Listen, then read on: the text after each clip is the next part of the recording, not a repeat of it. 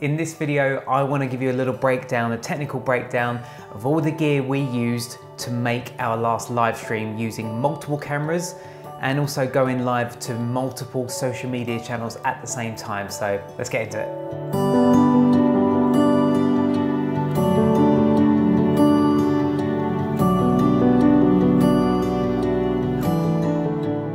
Reason we even did this in the first place is because we were supposed to be doing this demo live in front of an audience at the photography show, which is obviously an annual event that happens here in the UK.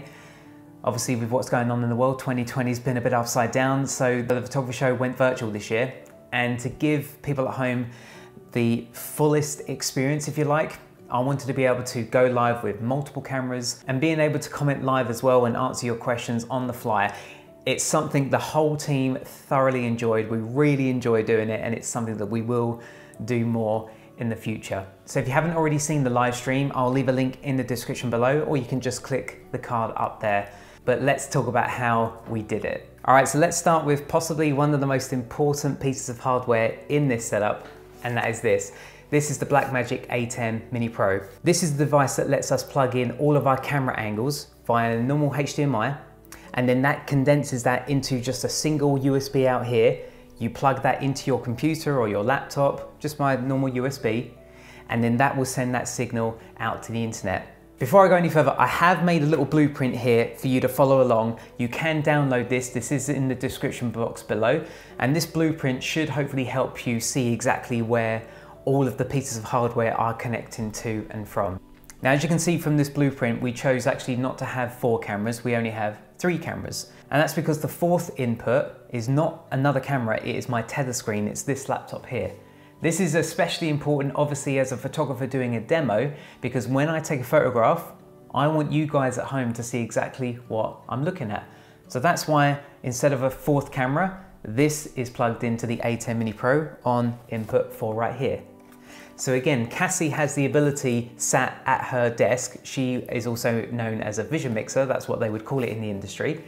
She has the ability using these buttons at the front, one, two, three, four, she has the ability to cut to any of the camera angles she wants. You can see that she can see all four camera angles and she can see what's about to go live and what is going live in the top right hand corner. If you want to learn even more about exactly how the camera angles work and how they change, then click the card up there and that'll take you to an overview video that I made recently talking about this and exactly how you connect these up. So the main camera, the one dead center, the one that was unmanned, that was a 5D Mark IV with the 24-105 lens on. The camera that was right at the very back, getting the behind the scenes shot, that was just a GoPro 4. And then the last camera was the GH5, which is this camera here with the 12 to 35 millimeter lens. That was actually manned, that camera, that was operated on by my friend Mike. And he was able to then give us all different types of shots rather than just three static shots. It made it a little bit more uh, exciting that there's a bit of movement in there as well. The next thing I want to draw your attention to on the blueprint is uh, what's on top of a couple of these cameras. So they're mobile phone clips with our mobile phones on, and they are doing something extremely important. On the phones is an app installed called ATEM Tally. What this app is doing is it's telling the camera operators exactly when their specific camera angle is live and when it's not live. So for example, when Cassie hits, let's say two, that will take camera two into preview mode. Then that means that phone will shine green. That means that camera operator knows not to move around too much, that that camera is about to go live. Then when Cassie hits the button cut, that will then take that camera live and then that phone will go red. That means the camera operator knows not to do anything too silly, can't move the camera too much because their angle is now live. When Cassie then presses another camera and takes that live, that will then send the original phone off. That will take it to a grayed out screen. That then signals to that specific operator that they can then move the camera again. They can change it up, get a new angle. It's such a tiny signal, but it makes such a big difference because without this, my camera operator Mike, for example, wouldn't know if his camera was live or if he weren't, which means that he can't experiment with his camera. He can't zoom in quickly to get a nice close up because he might think, well, I can't do that. In case my camera is live, in case the world will see me do a quick zoom and that doesn't look very good. Because if it just went all of a sudden red, it'd be like, oh, there'd be no warning for the camera operator. So that's why when Cassie presses number two, for example, it goes into preview. Then when she hits cut, then it goes live. So Cassie has to press two buttons before that camera technically goes live. So Alex, if you come back back over to the ATEM and we'll do that once, we'll show that once more. So oh, when, when Mike is in preview here, that is when his light will be green. So if you then pan back, Alex, his light should be green. And back here again, Alex. If we now take him live, now we go back to here, we can now see that Mike's phone has now turned red, so it's all talking to each other. The way it's able to talk to each other is the, uh, the mobile phones are connected via Wi-Fi and they are talking specifically to the ATEM Mini via a specific IP address. So on the app, they can punch in the specific IP address of the ATEM and then that means that any changes in the ATEM will then change on the phones. But this has to be connected to the internet in order for it to actually send the signal to the phone. So you have to plug in a ethernet cable. As you can see again on the blueprint, just a simple ethernet cable from the back of the Blackmagic into the router. And that will then send that signal to the phones, telling them when they are live and when they're not live. Very simple signal, but it makes a massive massive difference. Okay, so that's all of the visual side of things. So let's now move on briefly to audio. So for the audio, we are using the Rode Wireless Goes. I absolutely love these, they're fantastic. We don't need to worry about any trailing cables running from my shirt all the way down and into the back of the Blackmagic ATEM. We can use these wireless Goes and then that frees us up to move around and do what we need to do. We had one on me and we had one on Stephen and Stephen had one because he was calling out all of the comments that were coming in so that we were able to answer them as quick as possible. Rather than me trying to go to the machine myself, we had Stephen there also calling out the comments and making sure that there was no technical difficulties. But so the receiver was plugged into, again, the back of the Blackmagic. The Blackmagic has two mic inputs. They can also be converted to line-ins if you're plugging in speakers. And then Cassie could then, from the desk, she can then turn the volume up and down. If uh, I'm too quiet, then she can bring the volume up so that it matches the level of, say, Stephen, for example. The actual lapels we were using, which is the one I'm using right here, is a Rode SmartLav Plus with a converter so that it can work in the Wireless Go because these lapels are originally designed for iPhones. Okay, the last step where it all comes together, we're taking all of the signals from all four of our inputs, um, all the signals from the audio from mine and Stephen's microphone, all of that um, signal is going from the USB out on the back that is going via a Tether Tools USB-C cable that's going across the room over to Stephen's machine and connecting into the iMac via USB. And we're using a service called Restream to take the broadcast live. If you don't know what Restream is, Restream is a service that allows you to simultaneously broadcast your live stream to multiple social media platforms at the same time. You can go live to 30 plus different social media channels out there. Obviously, I don't have 30 plus social medias, so we ended up going live to not only my Facebook, not only my YouTube, not only my Twitter, but we were also going live to the Photography Show's Facebook page. We were going live to Pixapro's Facebook page. We were going live to uh, Pixapro's YouTube channel as well. We were doing all of that at the same time via Restream. So to show you briefly how Restream works, this is the dashboard. You can see here from our last live stream, we've got all of the places that I went live to last time. So we can see uh, Pixapro, my Twitter account, Photography Show's Facebook page, uh, Essential Photos Facebook page, and my Facebook page. So we're gonna add also my YouTube channel in just to show you how easy it is to add more than one channel. So if I go to add channel, uh, go down to uh, YouTube events, connect to YouTube events, then select your username and then hit allow. Now you can either go live right now or you can uh, schedule one of your upcoming YouTube streams and connect it to this. So I've already gone ahead and made a just a dummy stream on my YouTube account so that when I go to this drop down, it can see my already set up test stream and then hit save.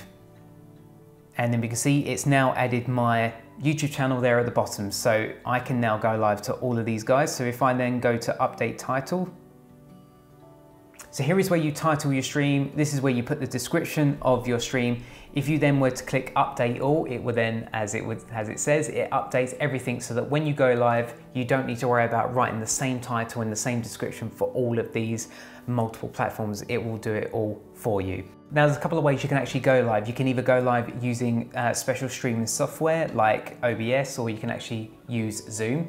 All you would just need to do is copy these settings to your OBS or your Zoom and then that will then talk to each other. But if you don't have that, then you can use their built-in Restream Studio, which is actually what we use. We didn't actually use any fancy software platform like OBS, and there's a very good reason why we opted to use Restream's built-in Restream Studio. So let me show you. So enter Live Studio.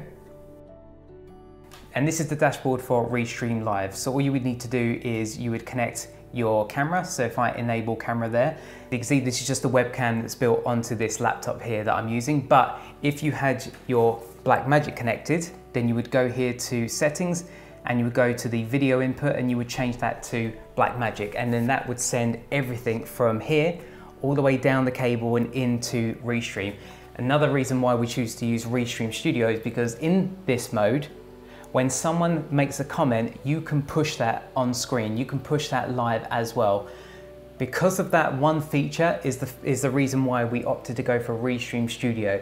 We really liked the idea that we could push comments on screen so that it makes it feel even more interactive. As soon as we start pushing comments on screen, that encourages other people to start comment so that they can see their name actually on, on screen as well. And let me show you how to do that. So let's pretend that this, uh, this is a comment that's come in here. If I then click show, you can see that that displays actually on there. So if you get a whole list of comments, and this again, this is what Stephen's job was. This is why we needed a second person to do this rather than trying to shoot this myself and then come to the chat and see what it's doing.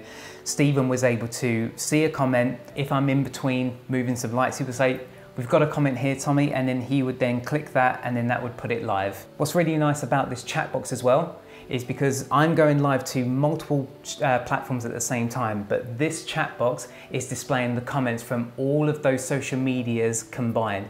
So you don't have to have YouTube open and Twitter open and Facebook open just to see the, all the comments.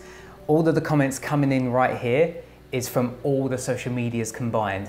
As well as that, it also has captions here. So I did mention that you could, at the start of the live stream, that you could get 20% off using the code Tommy20 at the checkout to get 20% off of any restream plan. And I am giving this to you now as well here in this video. If you do want to take advantage of this, again, just type in Tommy20 at the checkout and you can get 20% off of any of Restream's plans. So for the captions ahead of time, I could put anything I want in. I could say, uh, set up one and then put uh, overhead lighting. So then when I go to add caption, I then click show and that is going to put that live. That's going to push that out live on screen. This is what's great about Restream Studios. You don't need any fancy um, software like OBS. Going into the graphics tab, I can also have my logo on screen that can stay on screen throughout the whole broadcast, which is really nice. Um, Another thing I like about it is you can also load videos into this as well. So you can play videos during your stream just with the click of a button. Now before I had Restream Studio, if I wanted to play a video on my stream, I'd have to have one of my laptops connected to the Blackmagic so that I could then queue up that video to play or have that graphic ready to go. And the problem with that is that means I've lost one of my inputs. That means that I can't have a camera because I've got to have a laptop plugged into it because I want to play a video. So if like me, you want to play an intro, you can just simply load it up and then hit show. And when that video ends, then that will just go back to our broadcast. So when that hits zero, we then crossfade and then that's when we begin the broadcast. You can make your own like I did, but they've, they've got ones like this one that's uh, already preloaded into the software, which again is really cool. It's always nice to have a little countdown.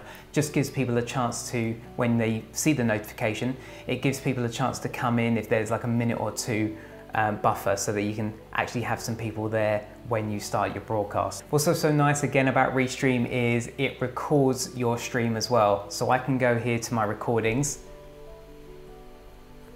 and this was the last live stream we did and I can just hit download record. I can record just the audio if I want to, I could play it here or I could download the recording as well.